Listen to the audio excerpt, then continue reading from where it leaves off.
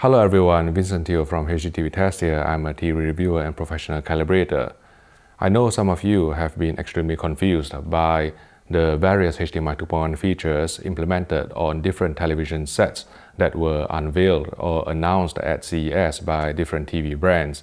And in this video, I'm going to break down each individual HDMI 2.1 feature to explain to you why are they important, whether you actually truly need it in the next television you purchase.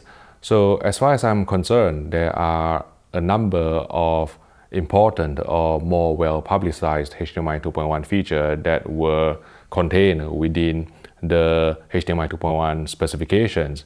They are namely higher frame rate or resolution. This means, for example, 4K at 120 Hz or 8K at 60 Hz. Dynamic HDR, this means HDR formats with dynamic metadata support, for example, Dolby Vision or HDR10 Plus. Various gaming related features including variable refresh rate or VRR, auto low latency mode or ALLM, quick media switching or QMS, and also quick frame transport or QFT.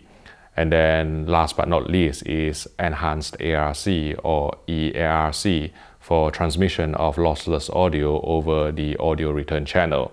So I'm going to delve into each of these features and I'm going to start off with the easiest one, migrating to the more difficult one. That's really how I do things really. I just love to procrastinate the difficult stuff and I've been researching methods to deal with procrastination, but I'll tell you all about them later. So let's start off with the easiest one, which is dynamic HDR. And to be fair, even though dynamic HDR or HDR formats with dynamic metadata support has been outlined or specified in HDMI 2.1, realistically this feature can already be implemented even on HDMI 2.0. So for example, some of the 2016 LG OLEDs, maybe the B6 or C6, they can already play back Dolby Vision material with dynamic metadata. So from that point of view, I don't think you really need to worry about the dynamic metadata side of things because all of the 2019 televisions will be able to play back HDR content with dynamic metadata embedded, for example, Dolby Vision or HDR10 Plus, I think the only thing that you really need to worry about is whether the specific television set that you eventually purchase will support either Dolby Vision or HDR10 Plus. Only Panasonic and TP Vision at this time I filmed this video in January 2019 have announced that they will be supporting both HDR10 Plus and also Dolby Vision. LG and Sony, they are still sticking only with Dolby Vision. They believe that their own proprietary dynamic tone mapping will be able to produce a picture that is as good as HDR10+, which is why they are not actually supporting HDR10+. On the other side, you have Samsung, which is only supporting HDR10+, but not Dolby Vision. The next big thing is basically the higher frame rate and higher resolution. Now, when we talk about higher frame rate or resolution, essentially we're talking about bandwidth. HDMI 2.0 has a maximum bandwidth of 18 gigabits per second. HDMI 2.1 has a maximum bandwidth of 48 gigabits per second. So there is a lot more bandwidth to allow for higher resolution and also higher frame rate. But realistically, if you're not actually buying an 8K telly, I'm not entirely sure how important this higher bandwidth is unless you are a PC gamer. Let me explain. So if you buy an 8K television, obviously you will want to watch 8K content, maybe 8K at 24 Hz or even 8K at 60 Hz if you are into sports. But realistically, these material are not going to come anytime soon. There is no plan for an 8K Blu-ray from my interview with Victor Matsuda, who is the president of the Blu-ray Disc Association. And according to Mr. Paul Gray, who is an analyst I really respect at IHS Markit, 8K is really slow to come along in the broadcast world as well due to bandwidth and various infrastructure issues. So from that point of view, I think 8K content is unlikely to come through anytime soon. And if you're not really buying an 8K telly, if you're only buying a 4K telly, you can really ignore the 8K side of things. Now, 4K at 120 Hz is certainly interesting, but again, due to the bandwidth restriction and also infrastructure that has been in place in various broadcast facilities, it is extremely unlikely that we will be suddenly switching to 4K at 120 Hz anytime soon. I think even trying to broadcast 4K at 60 Hz is going to be a big ask for these uh, broadcasters. But what is important for PC gamers is in terms of the higher bandwidth. So let's say if you own a PC with a really high-end video card, and if you want to play games at maybe 144 hertz, maybe with variable refresh rate, then maybe this extra bandwidth that is allowed for by HDMI 2.1 is important. But until then, let's say if you're only watching movies, if you're only streaming movie type content, if you're only watching regular broadcast, I think you can safely ignore the higher bandwidth, the higher frame rate and resolution that is within HDMI 2.1. So the higher resolution and higher bandwidth realistically is only important to PC gamers who require that higher bandwidth to either play games at 144 Hz, maybe at a slightly lower resolution, maybe at full chroma, maybe with variable refresh rate or VRR shown in.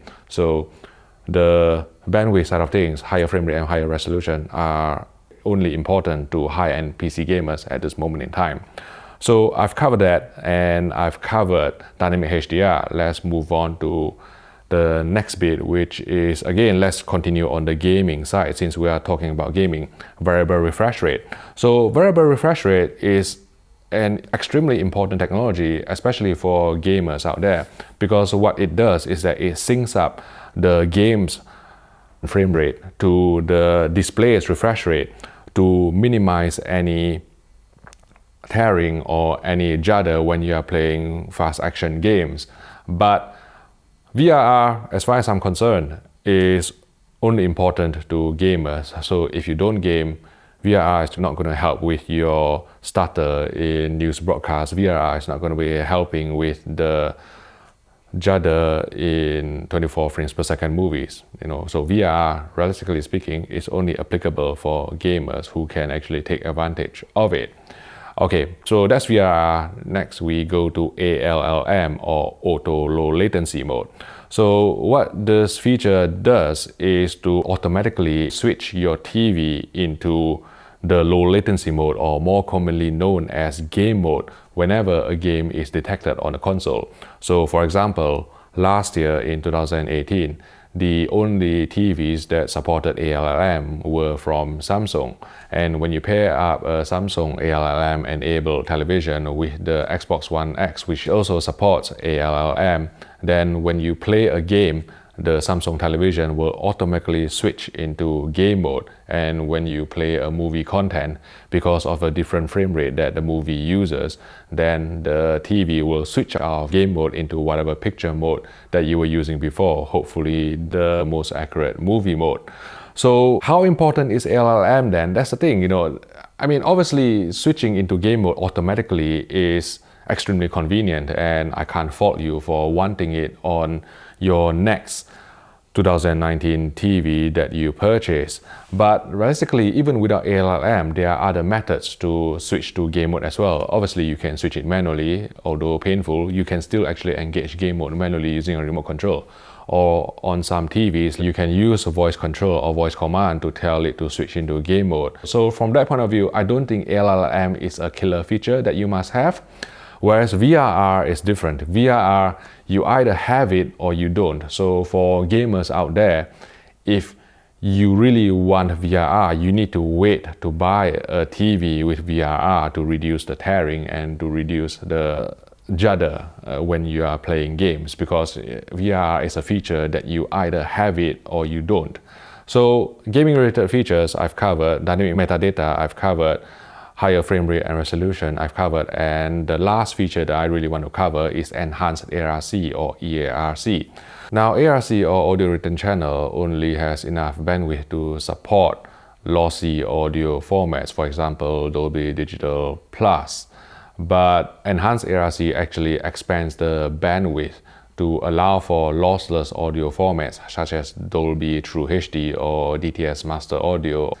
Now, here's the thing, you know, I've been researching how important is EARC actually to try and get Dolby True HD audio, let's say from an internal TV app, let's say Netflix or Amazon Prime Video, to your speakers. And as far as I'm aware, I don't think you know it is really that important. And the reason is this: Netflix and Amazon Prime Video so far have been using lossy audio formats. So even though they are sending Dolby Atmos out, they are sending it Dolby Digital Plus, which is already supported in the ARC specification or audio return channel specification.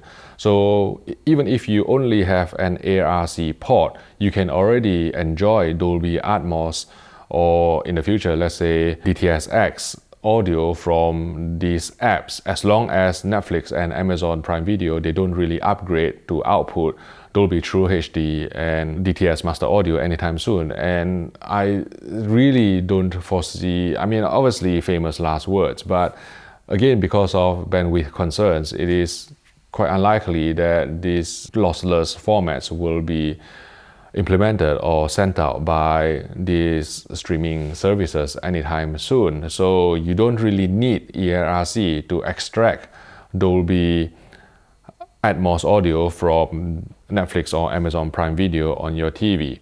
And when you watch a 4K Blu-ray with DTS Master Audio or with Dolby True HD, what you can do is instead of using EARC to route the audio through the telly and then the telly back, what you can do is to route the audio directly to your receiver. You can get these lossless audio formats that way. So most high-end 4K Blu-ray players, they usually have a dual HDMI out, one for audio and video and the other one for audio only. And the second audio HDMI out can be used for this purpose to send out the lossless audio codec to your receiver so that you can still enjoy Dolby True HD. So from that point of view, EARC is not important.